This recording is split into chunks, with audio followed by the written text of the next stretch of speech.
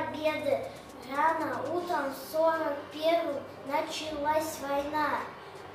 Чтобы выбить супостата, стала вся страна. Кто-то бился с ним в оковах, кто-то хлеб растил. И в далеком 45-м все же победил.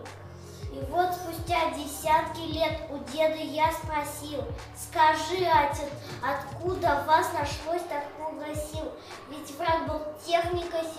числом превосходил, но был разбит и в пух, и прах, и голову сложил.